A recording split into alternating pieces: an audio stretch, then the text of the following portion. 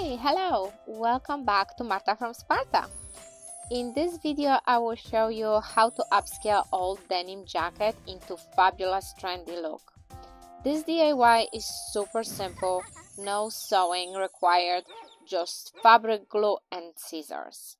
I recently got obsessed with these four sleeve jean jackets. I think they are fabulous addition to anyone's fall and winter closet.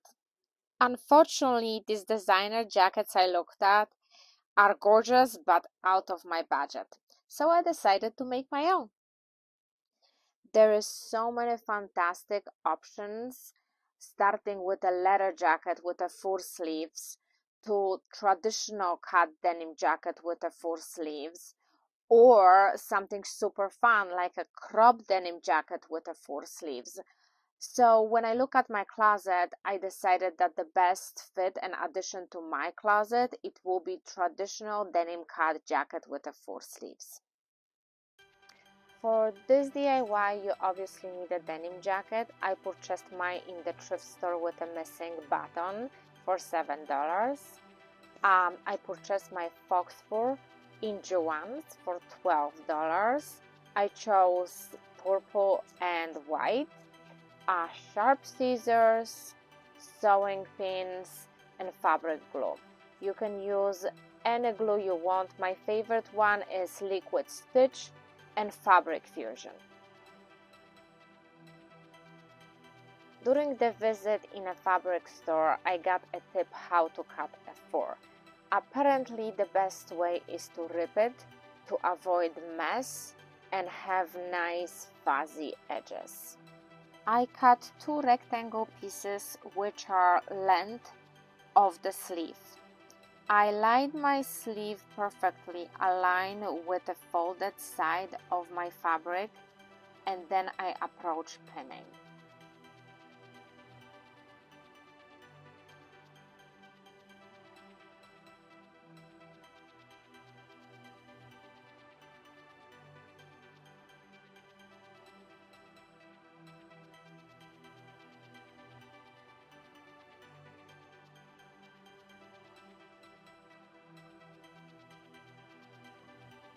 After I pinned my sleeve to the fabric and made sure everything is aligned perfectly, I was ready to cut shape of my sleeve. Even though ripping method seemed to give best results, I personally found it very challenging to perfectly rip along lines when I practiced on the test piece. So scissors seems to be best option to me even though it's a little bit messier than ripping. I really really like designer's look with the exposed denim cuffs so I did cut my fabric short enough to also leave my cuffs exposed but also have access to the sleeve button.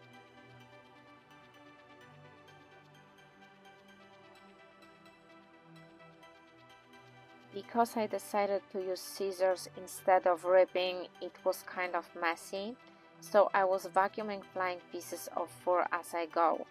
Um, also, I want to mention that I give myself extra one inch of forgiveness when I was cutting the fabric. Uh, once I was done with cutting shape of the first sleeve, I vacuumed my working space as well as edges of the fur from loose pieces.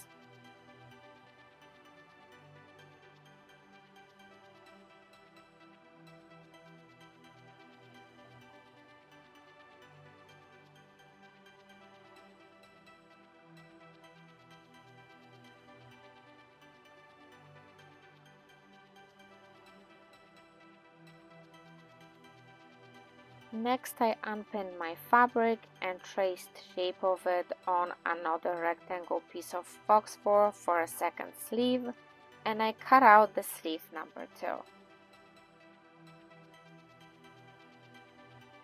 If you have denim jacket laying around it will be perfect for this DIY.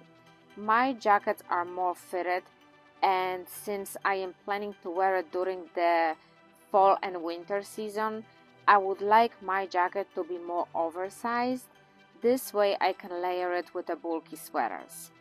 I took a trip to the Goodwill store and found perfect denim jacket for $7 in size large and perfect amount of room to layer it with the bulky sweaters.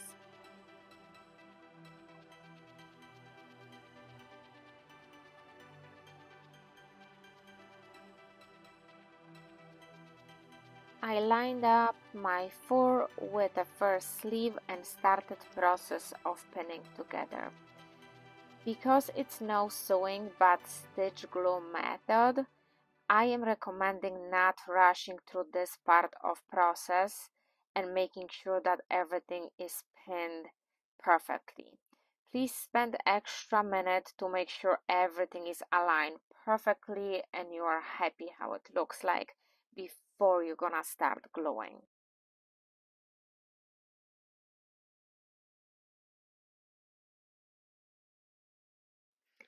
I approached to rip my fur since it was perfectly straight line, but at some point it became very challenging so I decided to finish up using scissors. I have to admit that I definitely prefer ripping method because I like the edge of the fur better after ripping, but I think in this case it's very challenging to follow the line. After I finish all the ripping and cutting, I vacuum my workspace and fabric. Again, I wanted to make sure that there is no loose pieces at the edge of the fabric before I'm gonna start gluing. I also made sure again that I like the edges and that they are perfectly aligned with the denim jacket seams. Once I was happy with how everything looks like and it was perfectly aligned, I decided to move my pins one inch away from the edge.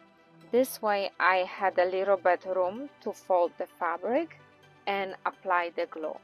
My first choice of fabric glue was Fusion. Unfortunately I didn't check container and the glue dried up so I was not able to squeeze it out from the tube. So I decided to use it my backup option which was liquid stitch. I love this glue as well and it worked perfectly for this project. I only glued along the edges. I applied glue on denim jacket and pressed firmly to make sure that both fabrics are in contact. Please don't forget to glue top of the shoulders. I am not showing this part on the video as I don't want this video to be unnecessary long. I did not glue part of the sleeve around the cuff though. I didn't think it's necessary and I wanted to leave it as is, but I did fry the edges of the fur to blend it in.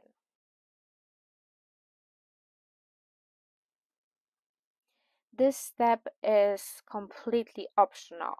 In my case, it was necessary since I purchased this jacket from the thrift store with missing buttons already.